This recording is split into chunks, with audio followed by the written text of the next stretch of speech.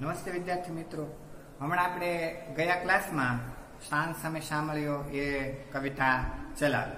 હવે આ બીજી નવમી કવિતા છે તમારી ગુજરાતીની અને એનું નામ છે પુત્રવધુનું સ્વાગત.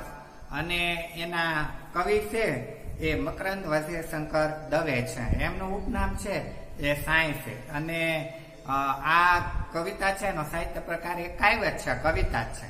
બીજું કે એનો સંદર્ભ ગ્રંથ છે એ આ કવિતા છે, એ સંગતિ નામનું જે પુસ્તક લખેલું છે, એમાંથી લેવામાં આવેલી છે. અઘરા શબ્દો સોરી આપણે જોઈએ તો મકરાન દવે જે પુસ્તકો લખેલા છે, એમાં ચબુક વીજળી ચબુક એને બાળકોની કવિતાનો બાળ કાવ્ય સંગ્રહ લખેલો છે. બે ભાઈ, તાયકો, એવા એને બાળકોના નાટક હોય એવા બાળ નાટકોનું એક એ પુસ્તક લખેલું છે, સંગ્રહ લખેલા છે. યોગપાઠ અને અંતર્વેદી અને આધ્યાત્મ એ ચિંતનના પુસ્તકો એને લખેલા છે.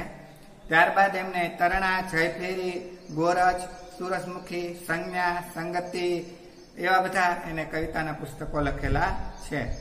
એ સિવાય એને શ્રેણી વિચારણ છે. એ ગીત રૂપે એક નાટક કરી શકાય એવું ગીત નાટિકાનું પુસ્તક લખેલું છે. અને માટીનો મેઘ તો છાત છે, એમણે એક નવલકથા પણ લખેલી છે. સંત કેરી વાણી, એમાં એ, એને ભજનના એ સંગ્રહ છે, પુસ્તક છે, ભજનો એમાં લખેલા છે. અને આ બધા પુસ્તકો લખવાના કારણે એમને રણજીતરામ સુવર્ણચંદ્રક એ એનાયત થયેલો છે, અપાયેલો છે.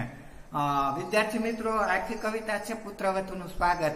એમાં મકરંદ વજેશંકર દવે એવું કહેવા માંગે છે કે જ્યારે આપણા ઘરમાં છે, એ કોઈ દીકરાની પત્ની આપણા ઘરમાં આવે છે, ત્યારે આ અહીંયા સરસ મજાનું આપણે દીકરીને લક્ષ્મી તે તુલસી કહેતા હોઈએ છીએ.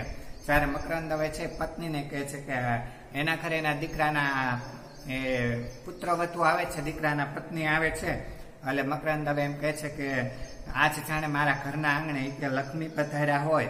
એવું મને લાગે છે ને કે જાણે કે મારા ઘરમાં મોટા મોટા કમળના ફૂલ ખીલ્યા હોય, અહીંયા ફૂલની ઉપમા અને મોટા કમળના ફૂલની ઉપમા આપવામાં આવેલી છે. અને મોટા મોટા કમળના ફૂલની જાણે સુગંધ લઈને આવ્યા હોય, એવું મારા ઘરમાં આ છે વાતાવરણ થઈ ગયું છે. અને ઓછો એટલે કે એટલો બધો આનંદ સવાઈ ગયો છે ક્યાં મારા ઘરના આંગણે.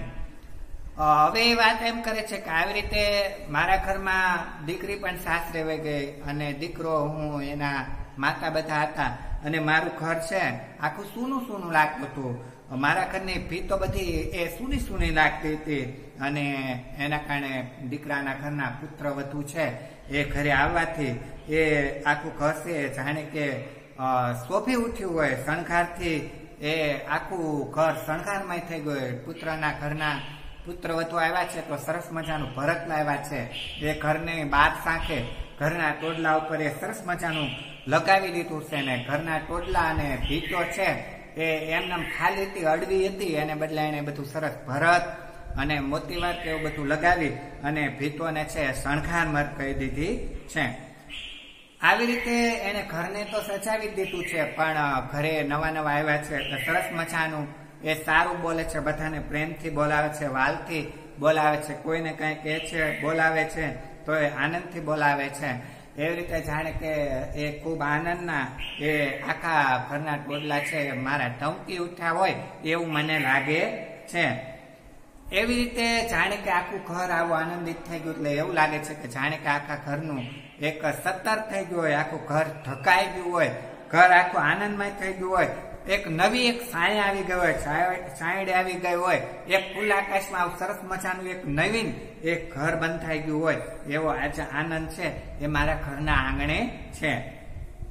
આવી રીતે એ દીકરાના બહુ આવ્યા છે, બહુ સારા છે, બધાને ખૂબ સરસ રીતે રાખે છે. ઘરને પણ સુશોભિત કરી દીધું, શણગારમય કરી દીધું અને બધાને ખૂબ વાલથી રાખે છે. સરસ મજાના બોલાવે છે, સરસ મજાનું જમવાનું કરી દે છે, સરસ મજાનું બધાનું કામ કરે છે. એટલે એ આ પુત્રના ઘરના આવ્યા છે.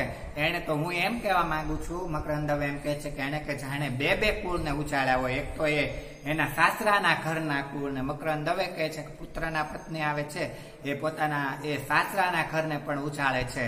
અને એક એના પિતાના ઘરને પણ ઉછાળે છે. મેં બબ્બે કુળને જાણે ઉછાળ્યા હોય એવું લાગે છે અને જાણે કે બધાને એ અહીંયાની ઊફ આપતા હોય, કોઈ તકલીફમાં હોય, મુશ્કેલીમાં હોય, સંઘર્ષમાં હોય, તો પણ એને મદદ કરતા હોય, એને હિંમત આપતા હોય, એવી અહીંયાની ઉપ પણ એ આપે છે. આવી રીતે આખા ઘરમાં એ પુત્રના ઘરના પુત્રવધુ આવવાથી એ ઘરમાં આનંદ સવાઈ ગયો છે ને આવી રીતે પુત્રવધુનું એ ઘરમાં સ્વાગત કરે છે. એટલે અહીંયા કવિ મકરંદ દવે તમારી સામે સરસ મજાની નવમી કવિતા છે. એ પુત્રવધુનું સ્વાગત મૂકેલી છે.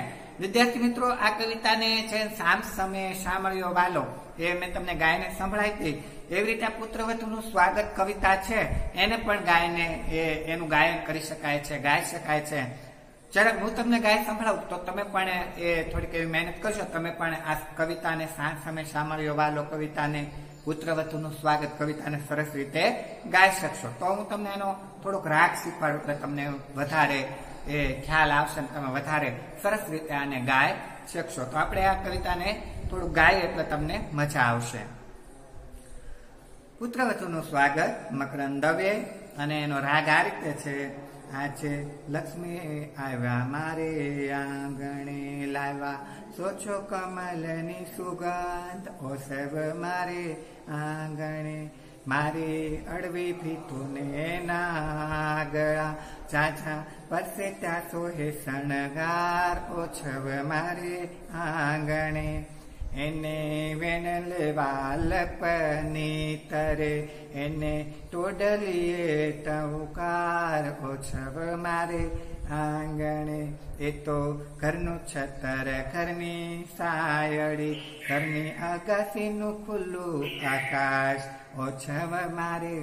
આંગણે એણે બાપે તે કુળને ઉછાળ્યા અને ઉપને જીવતરની હાશ ઓછવ મારે આંગણે આજ લક્ષ્મી પધાર્યા મારે આંગણે લાવ્યા.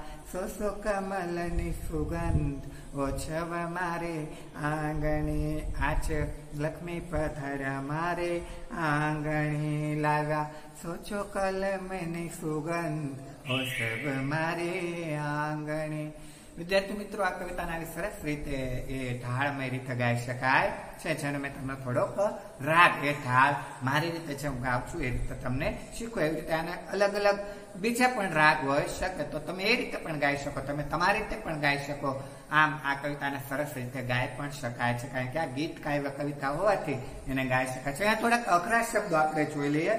તો અઘરા શબ્દો કેવા છે?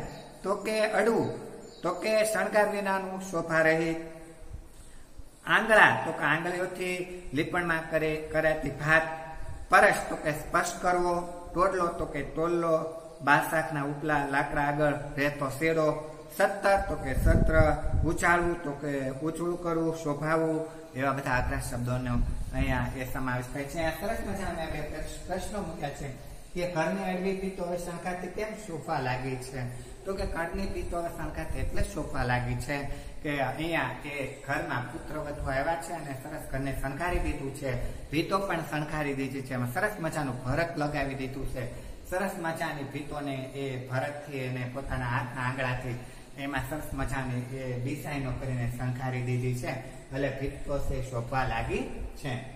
કાવ્ય પંક્તિ સમજાવીને બબેથી કુળને ઉચારે તો કાવ્ય પંક્તિમાં આપણે એમ સમજાવી શકીએ છીએ કે પુત્ર વધુ છે, એ ઘરમાં આવે છે, ત્યારે ઘરનું આનંદિત વાતાવરણ થઈ જાય છે. એટલાના સસરા તરીકે એ નાયક એમ કહે છે કે મારા ઘરે પુત્ર વધુ આવ્યા, એટલે એને એના પિતાજીના ઘરને પણ, એ ઉછાળી દીધું છે અને મારા ઘરને પણ ઉછાળી દીધું છે. અહીંયા સરસ મજાના આ પ્રશ્નો તમે જવાબ પણ લખી શકો છો. વિદ્યાર્થી મિત્રો, આ ક્લાસ તમારો પૂરો થાય છે. આવતા ક્લાસમાં આપણે ફરી મળશું. ત્યાં સુધી રજા લઈએ. આવજો.